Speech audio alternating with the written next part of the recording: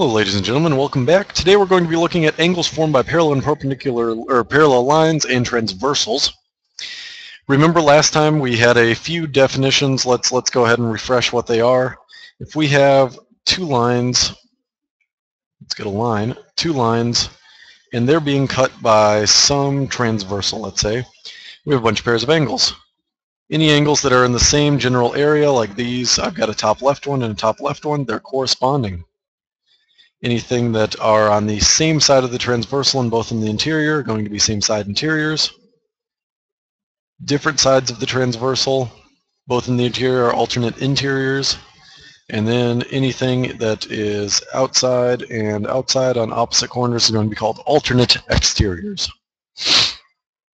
So, first off, let's go ahead and take a look at a pair of angles here. If I go ahead and take out my trusty compass, I'm going to go ahead and do that. I believe I can rotate a compass around. Let me try that for a moment. Here we go. I don't know how exact I'm going to be able to get. I'm going to be able to get roughly, there we go, roughly exact. Notice with my compass, I place it on my drawing here, it looks like, looks to me like we have about a 40 degree angle right here. And that does mean that since this portion was 40, coming up from the other side, we're going to start at 0 down here all the way up, we have a 140 degree angle. All right? Now, if we do a little little math, a little arithmetic, we're going to realize that these two lines, or this this line specifically, is a straight line. It's got to add up to 180. So that means that this makes sense that these two add up to 180, 40 plus 140. This is going to be a 140 as well. And over here is going to be a 40. What you're going to figure out pretty quickly is that if you move the protractor down, we're going to get 40, 140, 40, and 140 again. All right, so if I move that down, look at the angles formed. It's going towards 40, and it's going towards 140 as well. We have 40s and 140s again. So that means here, I'm going to get rid of my protractor for a second. We had 40s up here. We had 40s right here. We had 40s out here. I'm going to do a couple more. We had some 140s over here. 140s down here a bunch of angles are going to be equal to each other. All right, a bunch of angles are going to be equal to each other. Some types of pairs of angles are going to be equal to each other. But it looks like other types of pairs add up to 180. So let's see for which type which happens. All right, so let's start out with uh, corresponding. C-O-R-E-S-P-O-N-D-I-N-G, corresponding angles are, well, I have an angle right here. Its corresponding is right here. It looks like they're both 40. In geometry, would say they are congruent. Corresponding angles are congruent to one another. If we look at, let's say, alternate interiors. Alternate interiors would be like the 140 and the 140, which are equal to each other. Or the 40 and the 40, which are also equal to each other. Looks like those are also congruent. If we look at alternate exteriors, we can draw that in green. Alternate exteriors, we have a 40 and a 40. Yep. We have a 140 and a 140. Yep, it looks like alternate exteriors are also congruent. And I'm going to just go ahead and draw the congruent symbol here. Looks like an equal sign with a squiggle on top. They're also congruent to each other. Again, so you might have gotten a pattern here. Generally, things tend to be congruent to each other. I'm going to go ahead and draw this out in orange. The last type pair that we have is same side interior. Same side interior, congruent, right? No. Look at this. We have a 140 and a 40. Same side interiors. Definitely not congruent. They're not the same size. Do notice that they do they add up to 180 though. Add up to 180. In geometry, we say they are supplementary I ran out of room for that word. Oh well, supplementary, add to 180. All right, we're going to add to 180. That means that we can use those facts to determine several angles. If we have a 70 degree angle right here, that means that all acute angles are going to be 70 degrees.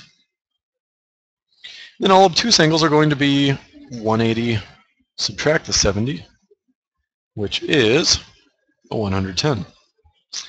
All of these bigger angles, all these obtuse angles, are going to be 110. We've already labeled the angles that we need, ECF, E to C to F. That's going to be this angle right here is 70 degrees. And DCE, this angle right here, is going to be 110 degrees. Now we can use these in equations as well. We can use this in equations as well. Notice that we have several angles labeled. Several angles labeled. I'm going to circle two angles that I know are equal to each other. Ask yourself for a moment, how does Mr. Reece know that these two angles are equal to each other? Answer, they're corresponding to each other. They're corresponding. This one is in the bottom left of its group of four. This one's in the bottom left of its group of four. They're corresponding to each other, so they have to be equal to each other. That's in fact one equation of three possible equations we could write. One equation, we could say 2x minus a 135 is equal to an x minus a 30. All right, that's one possible equation we could write. This other angle is not equal to the other two, but in fact it adds up to 180 with the other two. This, these, this is a straight line, obviously. These two angles are going to be supplementary. They're going to add up to 180. So I could say x plus the x minus 30 equals 180. That's another equation I could write. Lastly, another equation I could write, these two angles are going to add up to 180 because they're same side interiors, so I could potentially write 2x minus 135 plus the x equals 180 again. All right, so three different options for equations I could write.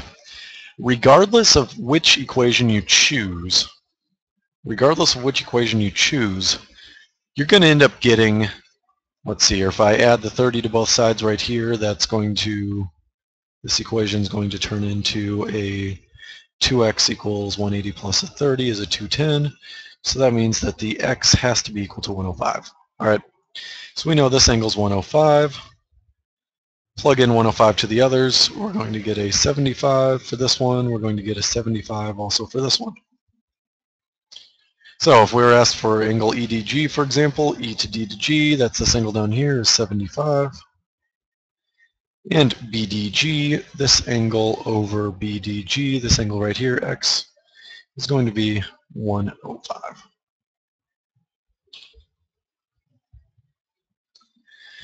Last example we're going to look at is a systems of equations example. I want you to take a look at what's going on here. We have three parallel lines coming down, being cut by two transversals that are not necessarily parallel to one another. And they're in fact not parallel to one another. We have an angle that's 55 degrees, meaning that any angle that is corresponding to it is going to be 55 degrees as well. But that also means that if this is 55, its alternate interior is also going to be 55. We have a 60 degree angle, and its corresponding is also going to be a 60 degree angle. We can write a couple of equations then to relate these together. In the red here, we can write 5x plus 4y is equal to 55, because we know these, this angle is equal to 55. In the blue, we can go ahead and write 5x plus 5y is equal to a 60. Now I'm going to choose to put this equation underneath, and I'm going to explain why in just a moment here. 5x plus 4y is equal to 55, and I'm just going to kind of cross out this top equation for a moment. The reason I'm doing that is I'm going to end up subtracting these equations. All right, I'm going to do that in pink here. In math, it is perfectly acceptable to subtract equations, just as you might subtract si sides of an equation. You might subtract variables on either side of an equation. You can subtract equations themselves. So if I go ahead and subtract straight down 5x minus 5x, that is 0x. 5y minus a 4y is going to be a single y. And a 60 minus a 55 is going to be a 5. If we cancel some things out, 1 doesn't need to be written, we just get a y equals 5. We're halfway done with the problem. We're supposed to find x and y. We already found y. Excellent. We already have y equals 5. I'm going to go ahead and plug in that y equals 5 into one of these equations. So I'm going to say 5x plus 4. Instead of writing a y, I'm going to write a 5 is equal to 55. It means 5x plus 20 is equal to 55. That means a 5x 5x is equal to that 55 minus the 20, which is 35. And that's going to indicate that our x would have to be a 7. You know your x is a 7. We know that x equals 7. We know that y equals 5. You're done with your problem. Now, just a quick note here.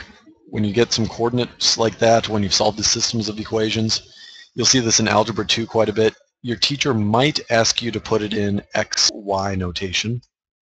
So you're going to put your x value 7, y value is 5. You might see that notation in Algebra 2 when you get up to Algebra 2. As always, email me if you have any questions. Have a delightful day. Take care.